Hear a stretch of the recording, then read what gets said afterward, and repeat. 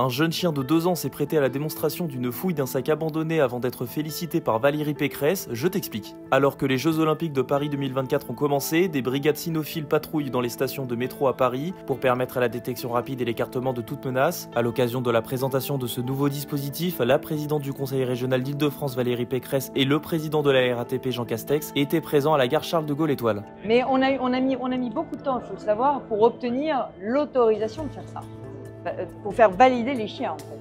Avant d'être déployés sur le terrain, ces chiens sont évidemment longuement entraînés puis diplômés. Tout au long de l'été, 24 binômes chiens et maîtres de la brigade cynophile sont mobilisés dans les transports en commun pour intervenir dès le signalement d'un sac ou objet abandonné, a précisé Didier Roubidou, le directeur sûreté chez la RATP. En cas de doute sur un bagage abandonné, une autre équipe est directement envoyée après le passage du chien afin de traiter le plus rapidement toute potentielle menace et d'interrompre le moins possible le trafic. Valérie Pécresse a également tenu à sensibiliser les usagers des transports en commun pour éviter les oublis de sacs dans les trains et métros qui seront sollicité par les spectateurs et visiteurs cet été.